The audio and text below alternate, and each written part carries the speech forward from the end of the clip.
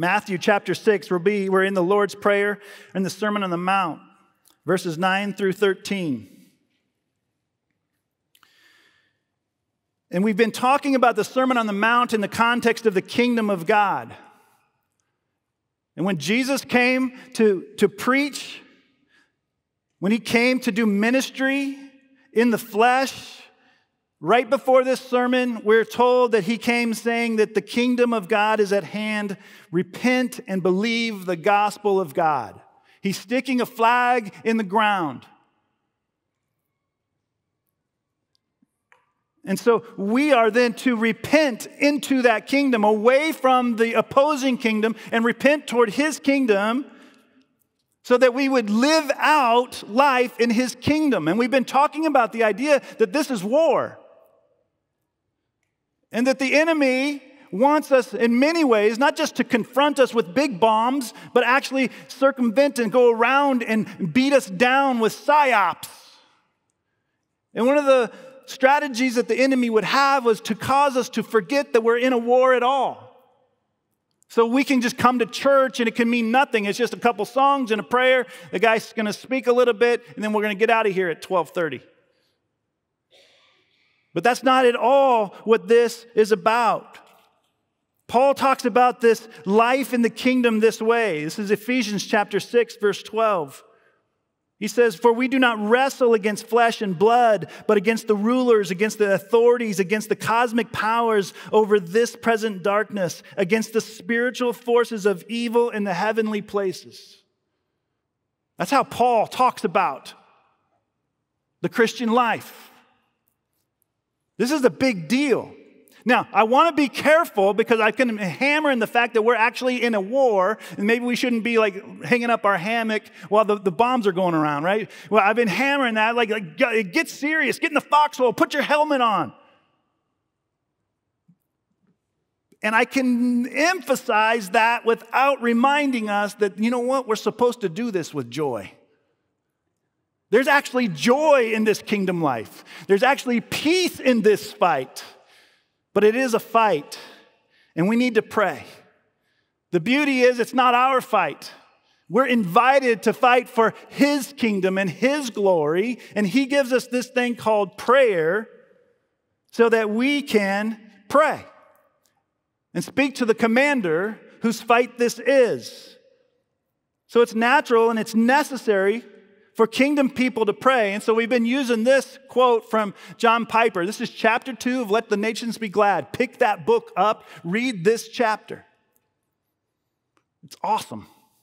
He says this He says, prayer is primarily a wartime walkie talkie for the mission of the church as it advances against the powers of darkness and unbelief. If I'm going to tell you that we're in wartime and that we need to be fighting together, then I need to tell you that we need to pray. We need to pray to the commander for the mission of the church as it advances against the powers of darkness and unbelief. If we don't pray, then we can't fight.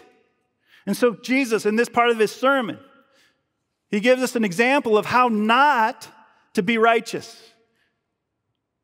In chapter 6, it's part of, the, of Jesus' sermon, and he's going after the heart. He said, Look, you're hungering and thirsting for the righteousness of the kingdom. Beware, watch your heart that you don't work this good stuff out, this righteousness out for the wrong reasons, for the approval of man. And so he, he, he says, he says don't, don't give to the needy like this. Then he says, don't pray like this, but like that. And he says, don't, don't fast like this, but like this. And that, that's kind of where we are in chapter six. And so we're in that section where he says, he says, don't pray like that, pray like this. So let me just remind you a little bit of how he's described these things. First of all, he says, don't pray like the hypocrites.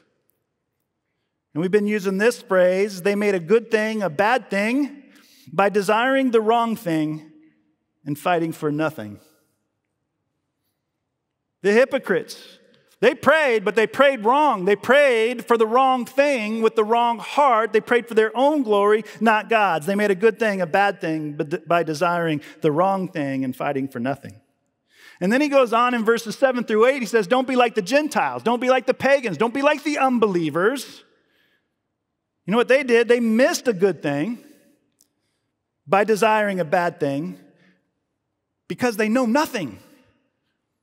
He said, Don't be like the pagans who don't even know God. And so they're going to pray like they don't know God. They're going to try to manipulate God and tell them, tell him what they need. And then they're going to manipulate him to give him those things. And it's just useless. He says, don't be like that. He says, he says like this. He says, pray like this then. Be like followers of Christ, verses 9 through 13. This is the Lord's Prayer. He says, Pray like followers of Christ who know the good King, who treasure the right thing for the glory of the true King. See, followers of Christ, they know the good king. And they treasure the good king's glory. That's what they know. So pray like this, he says.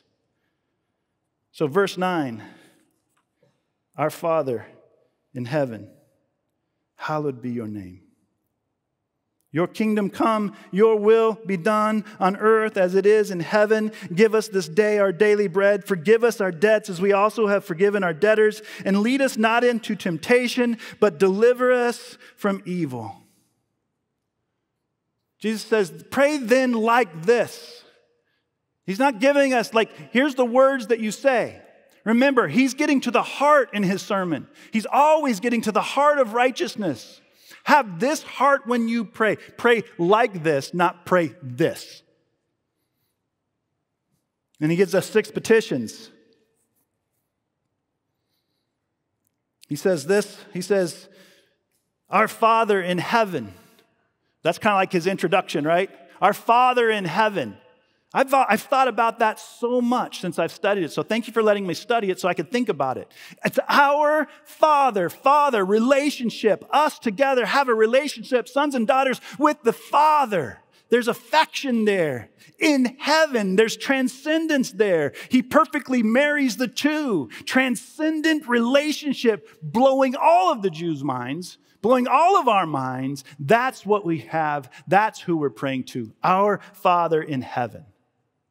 And so once that's established, then our focus turns to our Father's glory, His name, His kingdom, His will. This is the primary concern of believers that He would be made much of, that His kingdom would come, and that His will would be done on this earth as it is in heaven. And from that understanding, that overarching desire of, of His kingdom to come, His righteousness, His will to be here, now I get to turn my eyes onto man's needs. What do I need? It's all about His kingdom. But does that mean that where I live every day doesn't matter? No, according to Jesus, not at all. We now get to turn to man's needs directly specifically our daily food, our sins, and our temptations. And that's where we are today. So let's just break this down a little bit. Just, let's just walk through and, and, and, and, and pull out of this. Verse 11 Give us this day our daily bread. So, quick explanation. That word daily is a rarely used word. In fact, it's, it's just found in this prayer, which I thought was at least interesting. And what he's getting to here is that it's just this, it's, it's, it is what it says, right? It's, it's this, this, there's this sense of my daily need. There's a sense that if I ask in the morning for what I need for the day, I'm asking for the rest of the day. If I'm asking for what I need in the evening, I'm asking for what I need tomorrow. And this would sing in the ears of those who would live paycheck to paycheck, but their paycheck is every day. Every day. They're just, they're just making enough so that they can pay for tomorrow. They're in a, they're in a, a rural society, a lot like Guadalupe. It's an agrarian, they call it. it just, like, if the crop fails, then they're in trouble. If it doesn't come about, then they don't have what they need. And so Jesus says, pray to give us today our daily bread. And this prayer then becomes a prayer of dependence, doesn't it? It's just, it's like, oh yeah, I knew that. But what does he say? Pray this way. Pray with daily dependence on your mind. Who are we depending on? The Father that we know. We're like three weeks from that part of the sermon, but he's like three sentences away. We're praying and depending on the Father that we know. And what do we know about this Father? That He knows our need. That He's going to give us our basic needs. So, give us this day our daily bread becomes a prayer of my own dependence on the one that I know. Second to that, it points to the fact that God is not only a provider, but He's good. God is not only a provider, but He's good. Our Father in heaven, you are good and you know my needs, and I know that if I pray to you, you're going to give me everything that I need. James writes this letter, writes his letter to these people that are scattered and they're in trials, and he says this He says, Every good gift and every perfect gift is from above, coming down from the Father of lights. You know what that phrase means, Father of lights? Our Father in heaven. He says, Every good gift and every perfect gift is from above, coming down from the Father of lights, with whom there is no variation or shadow due to change. God Himself is the ultimate source of every good. God Himself is the ultimate source of our food and our clothing and our work and our leisure and our strength and our intellect and all of our stuff. God is good and He gives us good things. So, how might we take that truth and apply it to our lives? Well, I, I, I heard a, a, guy say, use this phrase. He says, says, you know what? In America, in the suburbs specifically, our toy boxes are full. And I went, oh, that's good. Our toy boxes are full. God fills our toy box. But we're just like all of the kids we know who are focused on all the toys they don't have in their toy box. In our flesh, we know that God gives us what we need, but we shake our puny little fists at God in rebellion. And we cry and we complain and we grumble because we don't have what we want. And as we're shaking our fists, we know Christians, we know that He has every right to withdraw everything that we have. And He would be fair, but He doesn't. He doesn't. See, our shaking our puny little fist is not a fruit of the Spirit. It, it, it, it's, it's the opposite. We're not poor in spirit before a holy God, lacking in all things. We're not poor in spirit at all. We're proud and we insult our Father. We take his gifts for granted. And when our gifts dry up, we complain. We're like a teenager. Teenagers. We're just like you. Where we have so much in our lives, right? And what do we say to our parents? I don't have this, and I don't have that, and my friends have this, and I don't have that, and I hate you, and you hate me, right? And we go, that's, that's but look at your life. It's so absurd. I was watching a Netflix series called Receiver, and it's about these athletes. You know, they got a ton of money, and they're having a birthday party for the four year old. And the, and the mom is like, all I want her to do is have a normal life.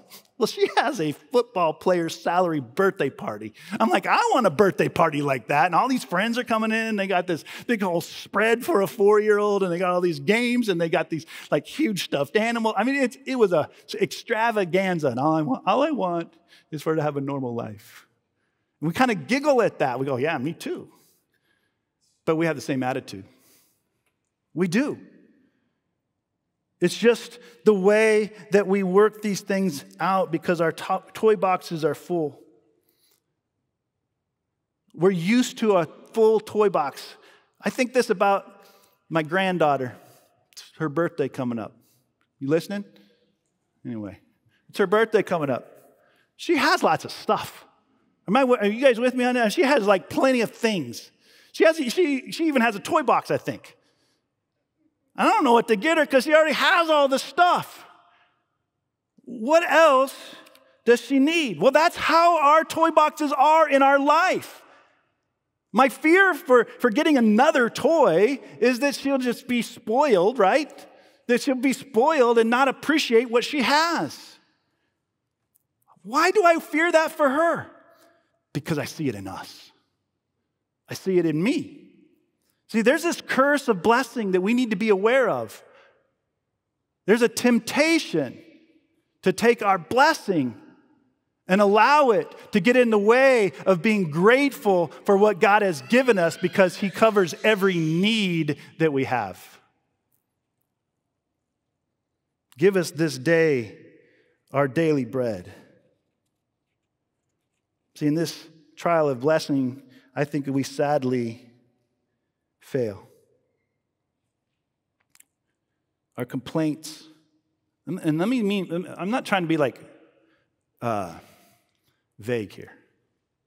Every time you complain and grumble and gripe and whine, whether, it's, whether you can make a case for it or not, you're shaking your puny little fist at God. And you know what? I'm shaking my fist at God this morning. But here's the good news when I realize that that's sin and unbelief, the good news is that I can confess it as sin. That's why we practice confession every morning on Sunday, so that we would exercise the good news and confess our unbelief that God is good. And not just stop at confession, but actually repent, where we turn our backs on that unbelief and we believe that He is good, and then we take steps to do that. Like it's very practical. Okay, it's not just like, mm, I'm gonna muster up some energy here. What practically can we do?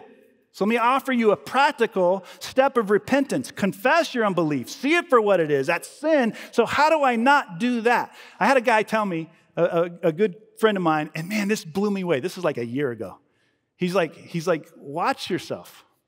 And how many times you say, I need.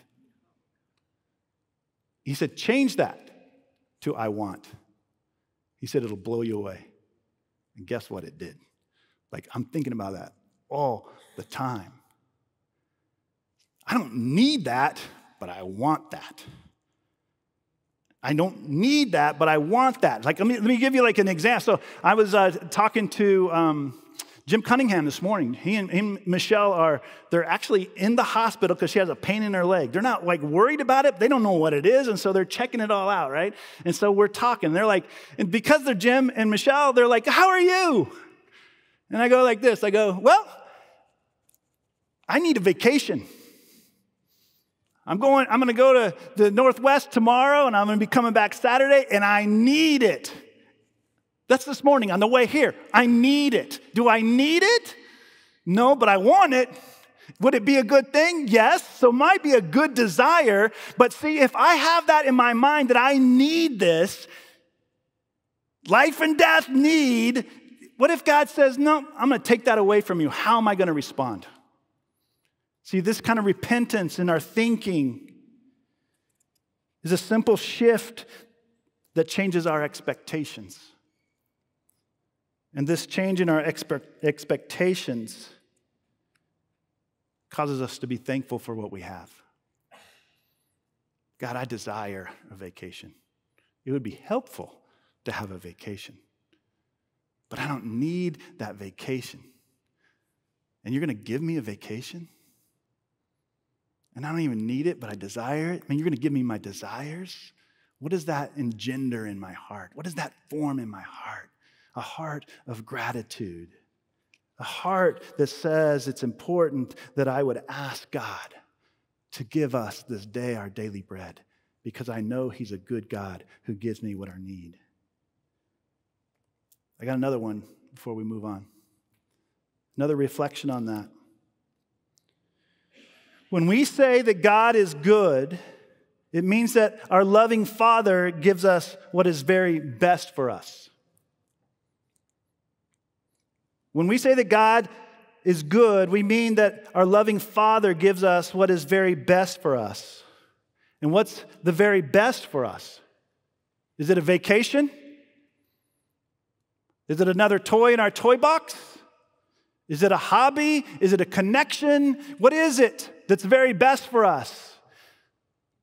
Your kingdom come, your will be done on earth as it is in heaven. His will is that we would be saved and that we would be changed into the image of Jesus Christ. And He will do whatever is best for us, which means He will do whatever it takes to transform us into the image of His Son, Jesus Christ. We have to remember that in our minds because oftentimes we think what is good is what's most comfortable, what's easiest. If that was the case, then Jesus wouldn't say this Blessed are those who are persecuted for my name's sake. Count it joy when you're persecuted. Why? Because this gives you an opportunity to reveal that God is good and He's at work in your heart in such a way that you can take all of these circumstances and you can respond in a mind blowing way and rejoice. See, God causes and allows things to happen in our life because He loves us. And I stop and I, I, I want to highlight that reality for this reason.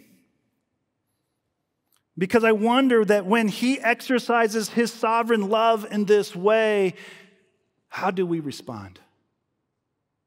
How do you respond? See, the answer to that question determines what kind of people we are. Are we resilient and meek? See where the strength comes in? Like, this is what I'm thinking right now. I'm thinking, okay, so we are before God in His presence, practicing that even now this morning, and we see that He is holy. Great is our God. We see that and we see, like, oh, I'm in his presence. He's great. I shouldn't be here. Look how far I lack. So I mourn over my sin. I get to see it. That's why I can confess. But I, not, I don't stop at mourning over my sin and like my, my life is a dirge. I'm such a sinner. What happens? That truth, that reality causes me to be meek. So I'm humble and I'm strong all at the same time, and that makes me resilient. Can I tell you something, ladies and gentlemen? This world, this culture, our culture needs resilient people. Not, not like tough, aggressive, in your face people, but like tough, purposeful, confident, bold people who know that this life is about the king and his kingdom. And that's the direct opposite of being vulnerable and weak. Are we resilient and meek, or are we vulnerable and weak? I had to get that. You know, I had to get that rhyme in there. See, when difficult times descend upon us, will we, will we remain? Will we remain in the faith?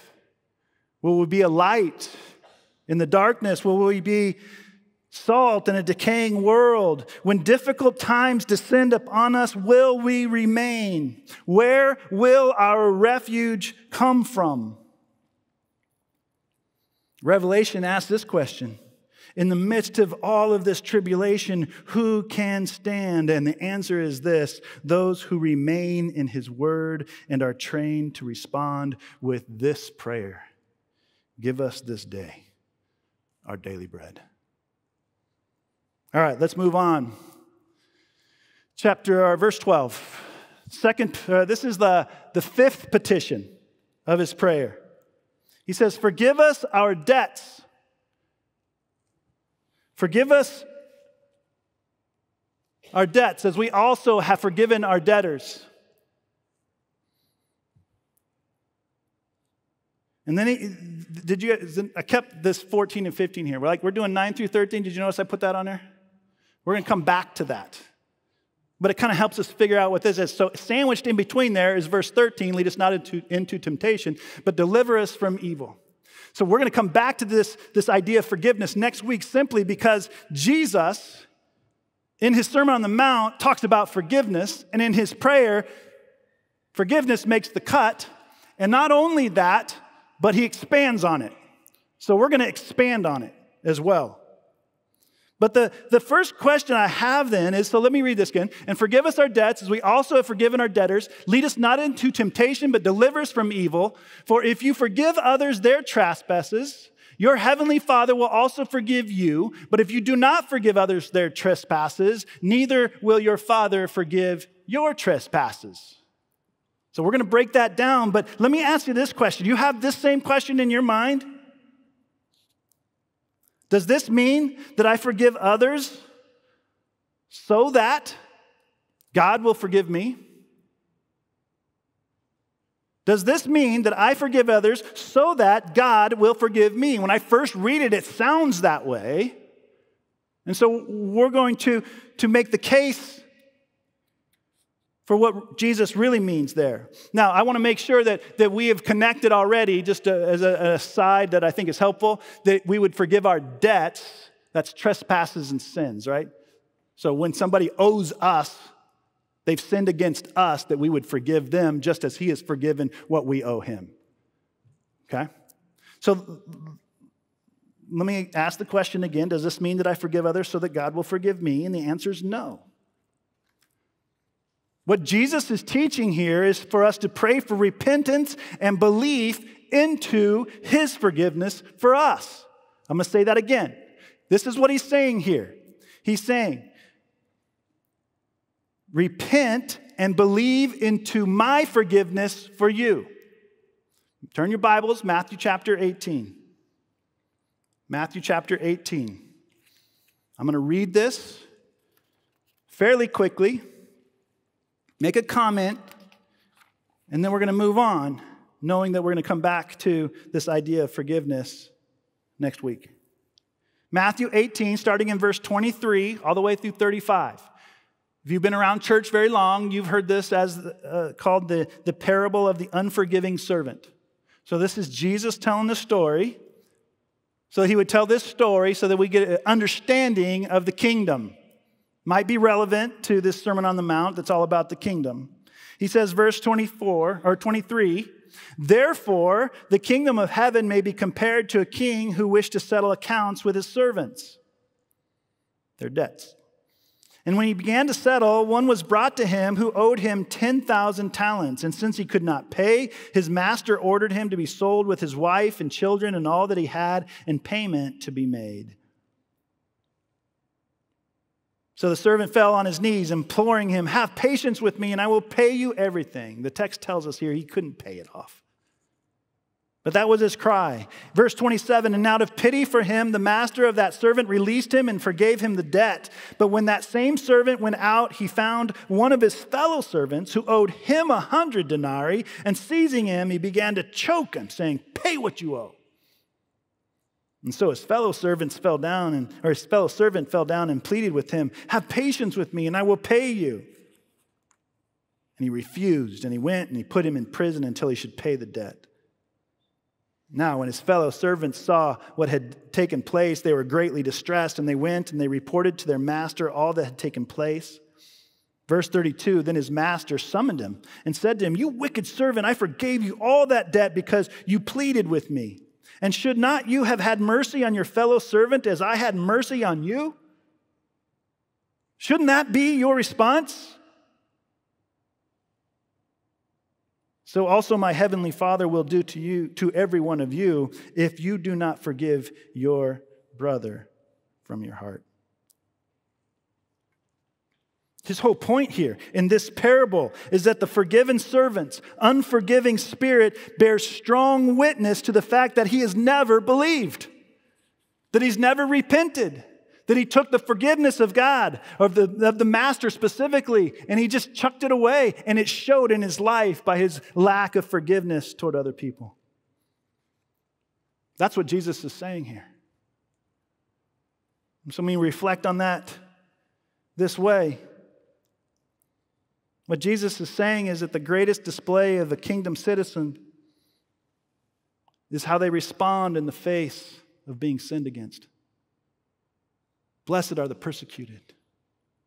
Love your neighbor, love your enemy. Respond in a way that reveals that you've believed into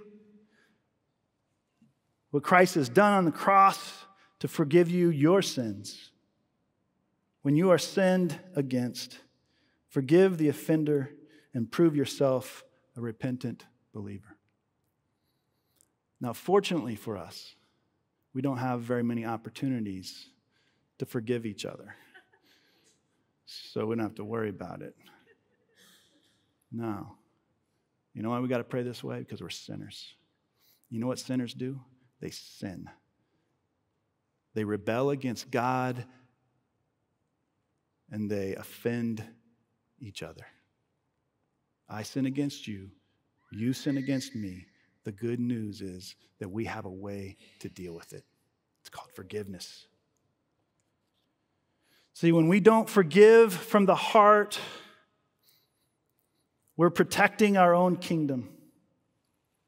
When we don't forgive from the heart, I'm talking from the heart because sometimes we don't know if somebody's offended and we should forgive, et cetera, et cetera. We need to know those things. And we'll talk about that. But, but Randy actually talked a lot about that. But if we don't forgive from the heart, what that means is that we're defending and protecting our own kingdom. It's all about our life and our glory. We are central. And what did we just get done praying?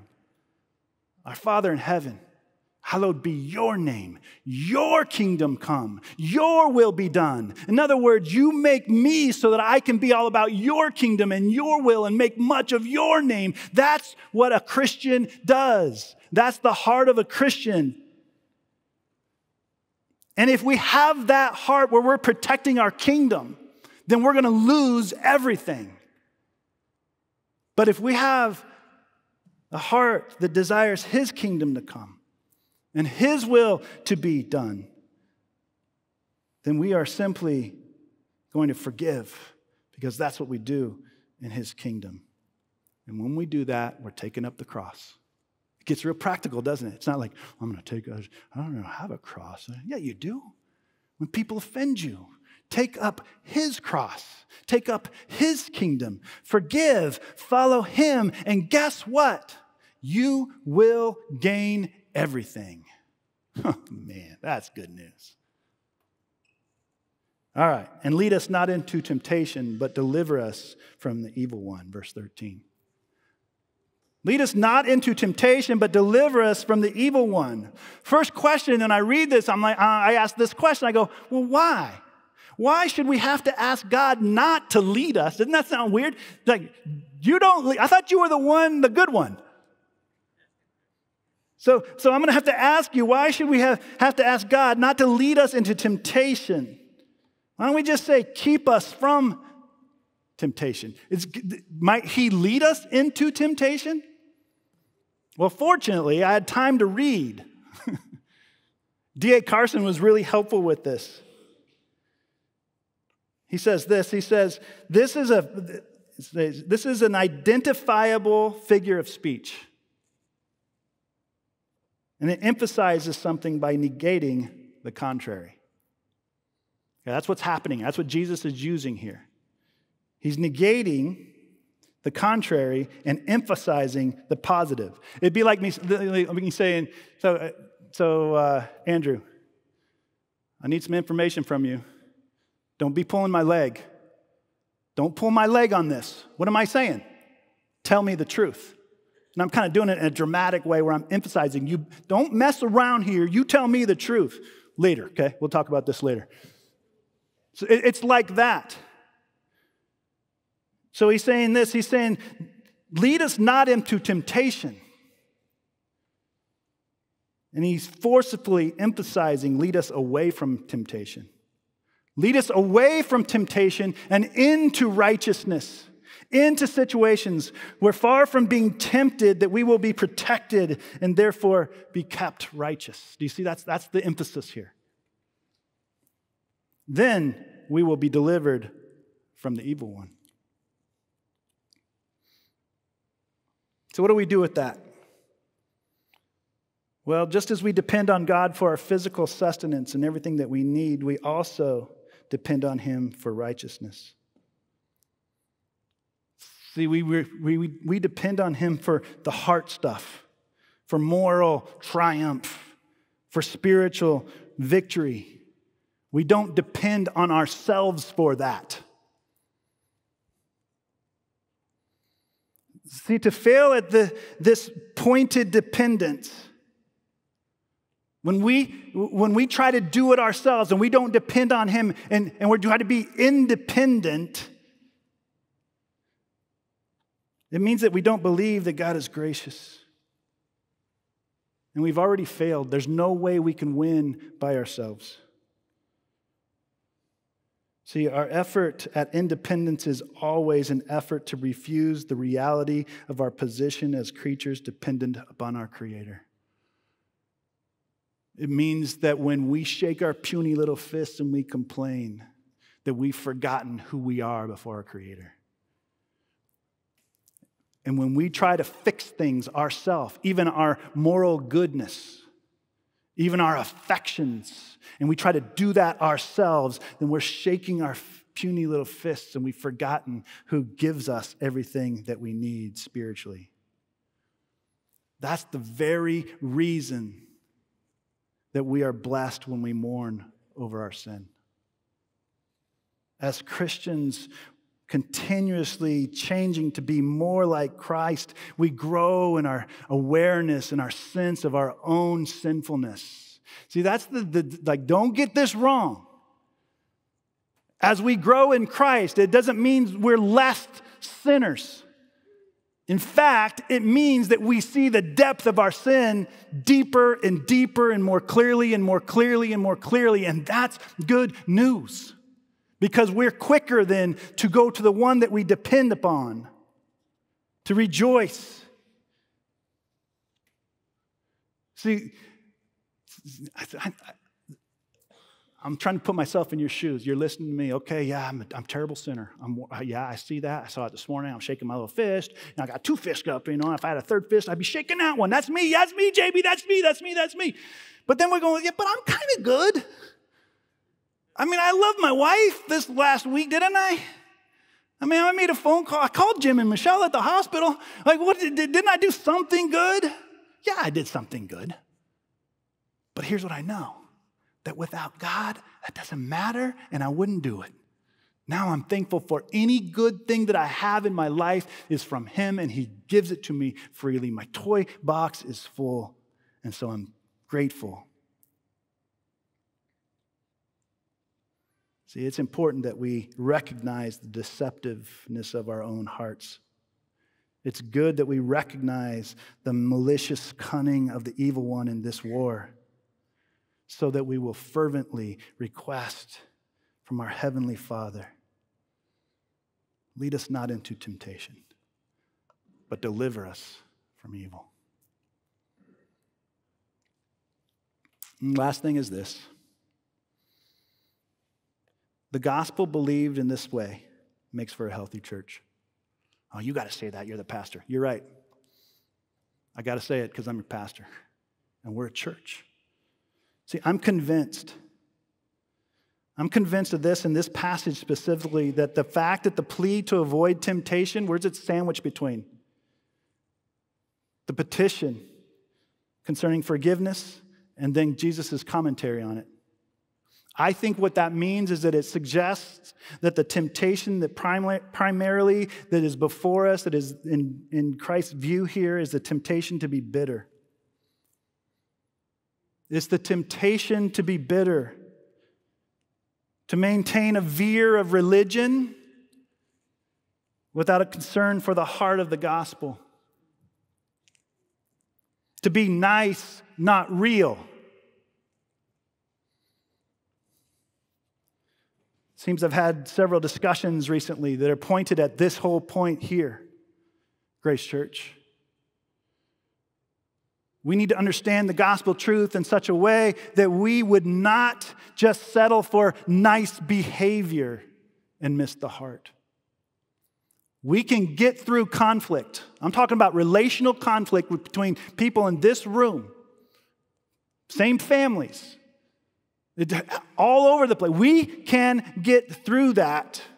But what we are tempted to do is to get through it churchily, not gospelly.